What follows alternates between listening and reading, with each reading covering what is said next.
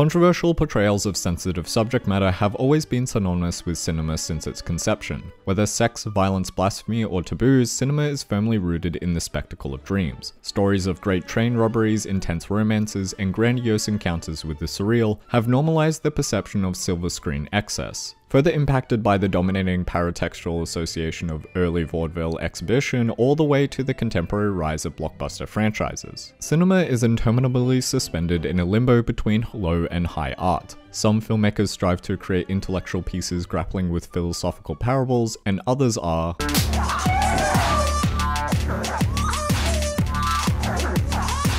Whether it's the unsimulated eroticism of Tinto Brass, the intense psychedelic nightmares of Gaspar Noé, the abject horror of Julia Ducournau, the visceral bodily exploitation of Andrei Zulawski, or the bleak satire of Todd Solondz, Transgressive Cinema has always sought to explore the taboos of status quo in culture and the arts. Though divided by cultural and historical contexts, both Ralph Bakshi and Lars von Trier's respective filmographies challenge dominant ideological values through transgressive screen material and unorthodox aesthetic sensibilities responsibilities, with the idiots and heavy traffic exploring identity crisis in social malaise. Appalled by the metastasizing cultural fetishization of technology corroding humanist stories, notorious Danish filmmakers Lars von Trier and Thomas Vinterberg sought to strip back the growing artificiality of cinema to nakedly depict human drama. This birthed the Dogma 95 Manifesto as the resurrection of the human point of view in cinema. Conceived in roughly 30 minutes, the Ten Commandments comprise the vow chastity, forbidding artificial light, non-diegetic sound, genre conventions, and tripod photography. Though a playful tone, Dogma 95's revolutionary style lent itself to portraying taboo subject matters. Von Trier's The Idiots follows Karen, a middle-aged woman whose desperate encounter with a man she believes to have a learning disability is revealed to be an act, leading to a cult-like intoxication and repulsion with a commune proclaiming to act the inner idiot. While other group members think it's a joke akin to children playing with toys, and others find catharsis in rebelling against the mundanity of the bourgeoisie. The conflicting justifications highlight the crippling midlife crisis as they are later exposed as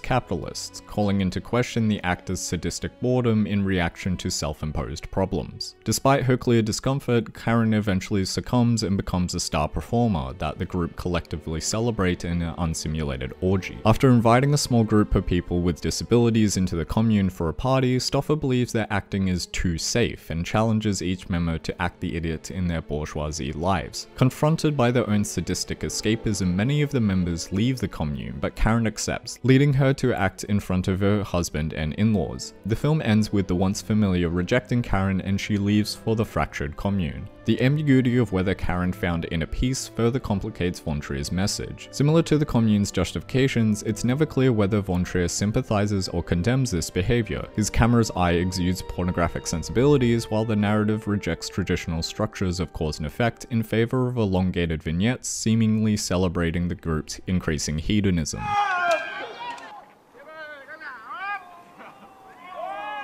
While predating the contemporary discourse of method acting creating problematic working environments, the film can be read as a meta-modernist commentary on the hypocrisies of performance, seeking to discover oneself by embracing abject characteristics of someone culturally perceived as lesser for the sake of art, and how tragically ironic the film predated the offensive portrayals of disabilities in Sia's music, The Theory of Everything, and I Am Sam. However, following a meta-modernist interpretation, Von Trier offers freedom in the incorrect. The moral is that you you can practice the technique, the dogma technique, or the idiot technique from now to Kingdom Come without anything coming out of it unless you have a profound passionate desire and the need to do so. Thus the dogma style of degraded image quality, erratic unmotivated jump cuts, reactive compositions, and untreated audio could be argued to be revolutionarily idiotic in the face of perceived high art, an Ouroboros joke that further infects lifestyle, is rejecting Lacan's symbolic order to be free, is indulging in taboo a genuine means of discovering discovering one's true self? Is there happiness found in the meaningless of existence? As Julia Kristeva expresses, it is thus not a lack of cleanliness or health that causes abjection, but what disturbs identity, system, order. Thus, acting the idiot can be perceived as finding peace with the abject. Yet this Camus-esque philosophical suicide is abruptly shattered as the ending's ambiguity denies a clear answer, suspending the film in academic limbo. Is it a cruel endorsement of unapologetic expression or a social satire? We will never know, but but similar to the disgust expressed by the commune's family members, perhaps there is resolution found in our collective discomfort. The Guardian described the film as appalling taste. Critic Mark Kermode was famously thrown out of the Cannes premiere for heckling along with many walkouts. And in 2005, Channel 4 aired the uncensored cut only for numerous complaints filed against the network leading to the UK's Broadcasting Authority Ofcom to officially investigate. Though ruling the film as not in breach of broadcasting conduct, the censored edit was only to be screened in midnight time slots with content warnings. Despite Von Trier and Vinterberg disowning Dogma 95 leading to officially disbanding in 2005, the manifesto's sensibilities have continued to influence their respective works, along with other filmmakers like Harmony Korine, Richard Kelly, and Michael Winterbottom, while HBO's hit show Succession drew specific inspiration from the celebration. Similarly, Ralph Bakshi's idiosyncratic style has been heavily influential in breaking the stigmas of adult animation and revolutionizing animation techniques through his own controversial filmography.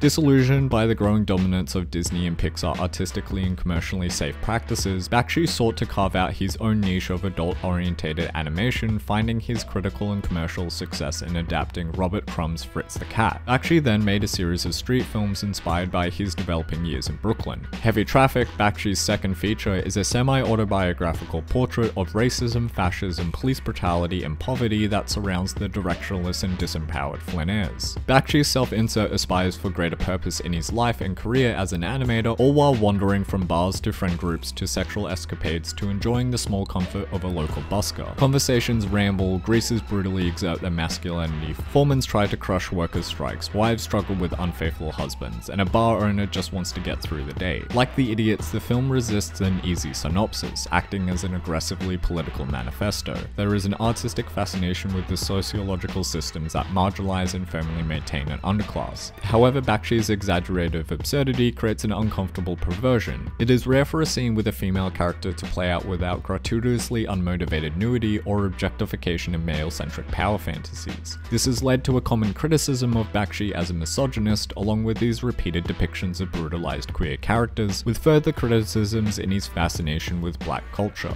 Like Von Trier, many of the criticisms stem from whether Bakshi appropriated culture for artistic greatness. Whilst most queer cinema focuses on celebrating ostracized sexualities, kinks, and cultures as sex-positive empowerment in reaction to dominant media portrayals of non-heteronormativity as deviant and destructive, intentionally ignorant of their own one-sided power fantasies that abuse and degrade, Bakshi's framing of sex is uniquely uncomfortable. Though Bakshi is certainly sympathetic to the struggles of LGBT communities, with perhaps the most vulnerable moment of the film featuring a transgender sex worker getting ready for work, Bakshi doesn't shy away from the real dominant conservative ideologies and systems that suffocate marginalized people. Women are ritualistically sodomized by British men, those same men mindlessly pursue economic and sexual dominance, with failure in their conquest resulting in meaningless violence. There is an unapologetic hatred of police, depicted as literal pigs in Fritz the Cat and as British hypocrites in subsequent street films, a hatred of the mafia, a hatred of bigots, and a hatred of governmental oppression. Yet it is Bakshi's iconoclast animation style that forms his challenging commentary. His neo-realist sensibilities chaotically collaged through a hybrid of rotoscoping, stylized street photography, documentary audio, traditional hand-drawn 2D animation, and scripted live action. His art style purposely utilizes offensive stereotypes to exaggerate the realities of abuse, racism, sexism, fascism, and oppression. Bakshi contorts reality into exaggerated absurdity, spotlighting the hypocrisies and horror of the status quo as meaningless. Stereotyping is as much of an object of satire as satirists are their targets. Bakshi's intention was to make all of us laugh at ourselves and our eccentricities. Bakshi saw himself as a part of the cultural melting pot, associating with black communities the identity struggles of Jewish America and disenfranchised countercultural movements. This was the reality for Bakshi. Thus, his street films raise a far challenging question. Should films and by extension art provide an accurate representation of reality or an idealized fantasy spectators should strive for? With a further question to whether films should provide a solution for contemporary struggles. Similar to The Idiots, Heavy Traffic ends with a bittersweet acceptance of community, finding internal peace among others while the world seems to burn around them.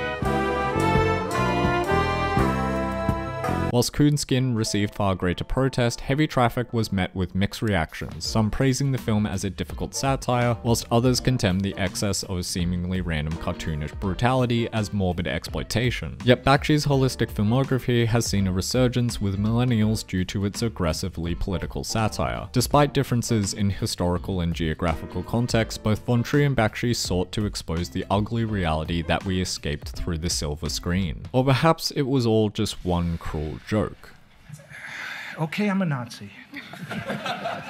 Completely different note. Um, Peter, Peter, how